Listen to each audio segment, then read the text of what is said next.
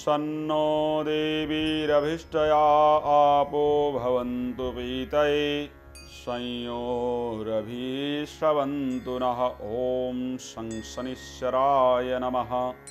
जय श्री राम बहुत बहुत स्वागत है आपका अपने विशेष कार्यक्रम मानस ज्योतिष ज्ञान में। हमारा हमेशा प्रयास रहता है कि आपके लिए अच्छी जानकारी, सच्ची जानकारी और धर्म की वास्तविक जानकारी आप तक पहुंचाई जाए, ताकि आप उस जानकारी को सुन करके अपने जीवन को बेहतर बना सकें। आज समाज में देखा गया है, शनि को लेकर के समाज में बहुत डर फैलाया जा रहा है। इतना डरने की आवश्यकता नहीं है।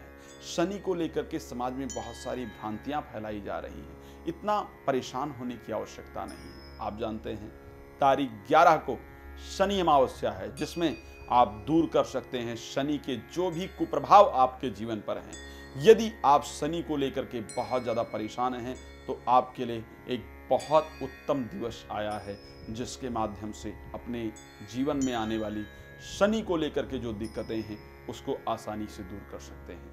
क्या करना होगा शनि अमावस्या को? और क्या खास लेकर के आया है शनि अमावस्या आपके लिए? मैं आपको बताने जा रहा हूँ। ध्यान से आप पूरी कार्यक्रम को सुने।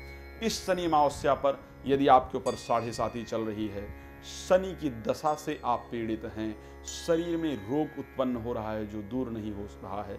व्यापारिक दिक्कतें चल रही हैं तो आप आसानी से दूर कर सकते हैं। शनि उदासीनता का प्रबल कारक ग्रह है। शनि दुखद समाचार सुनाता है। शनि की दशा इत्यादि जब आती है तो मन में डिप्रेशन इत्यादि होता है, लेकिन इनसे डरने और घबराने की आवश्यकता नहीं होती है। शायद आप लोग नहीं जानते हैं, लेकिन मैं आपको बता दूँ, एक बहुत गूढ़ जानकारी है।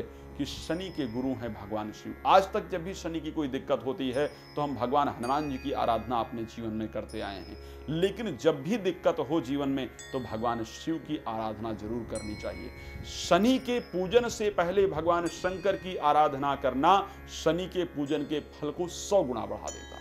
तो शनि अमावस्या को किस प्रकार क्या पूजन करें, जिससे कि जो शनि की प्रतिकूलता है, जो शनि खराब है, वो अच्छा हो जाए, मैं आपको बताता हूँ। सबसे पहले शनि अमावस्या को आपने करना क्या होगा कि भगवान शिव की आराधना करें। पहले भगवान शंकर के मंदिर में जाएँ, पाँच मिनट बैठ करके श्रद्धा पूर्वक ओम नमः शिवाय मंत्र का जप करें। ओम नमः शिवाय मंत्र का जप करने के बाद फिर शनि के मंदिर जाएँ। और ध्यान रखिएगा, शनि को चढ़ाने के लिए घर से तेल लेकर के ज़रूर जाइएगा। वहाँ जो तेल मिले उसको प्रयोग नहीं करना है। घर से तेल लेकर के जाएँ तिल लेकर के जाएँ, बाहर से ले सकते हैं, आप बाहर से लेकर के आएँ, फिर घर में रख के फिर उसको लेकर के जाएँ। काला तिल, काला उड़द, सरसों का तेल, लोहे की कोई कील इत्यादि या कोई भी चीज़, ये लेकर के जाना है और काला कपड़ा। और अगर मिल पाए तो सरसों ज़रूर लेकर के साथ में जाएँ।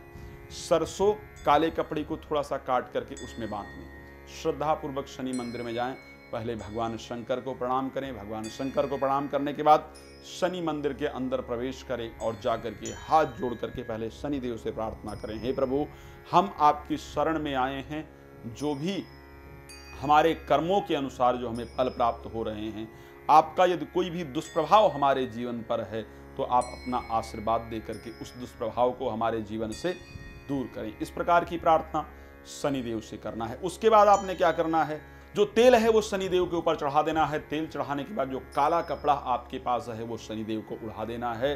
काला कपड़ा उड़ाने के बाद जो लोहे की कील है, वो उठा करके शनि देवता के चरणों में चढ़ा देना है।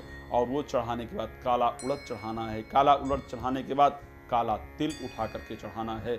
ये सब चढ़ाने के बाद जो पीली सरसों ले गए थे या सरसों काली या पीली जिस प्रकार की भी ले जाएँ, उसको काले कपड़े में बाँध करके सर से सात बार उल्टा घुमा करके और जो भी शनिदेव की जोत इत्यादि जल रही हो, नहीं जल रही हो तो उसको थोड़ा सा जला करके और कहीं साइड में उठाकर डाल देंगे। इसको चढ़ाने से, इस प्रकार का पूजन करने से जो शनि का दोष है, वो आपके जीवन से स्वतः दूर होगा। और वहाँ पर बैठ करके ओम संग शनिश्चराय नमः, इस मंत्र का ग्यारह बार श्रद्धापूर्वक जप कर लें, फिर सीधे वहाँ से वापस चले आए। शनि की तरफ़ पीट करके नहीं आना है। करीब 11 कदम शनि को सामने देखते हुए वापस आना है।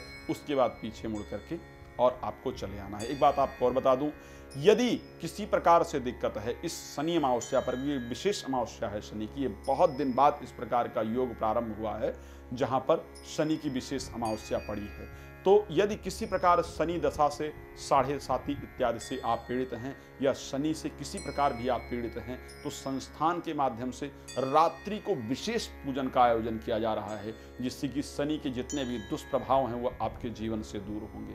तो आप संस्थान में संपर्क करके शनि के पूजन की पूरी प्रक्रिया को जान सकते हैं और अपने लिए पूजन करा करके अपने जीवन में उत्पन्न हो रहे सभी दुखों को दूर करके जीवन में आगे बढ़ सकते हैं। आज के लिए बस इतना ही।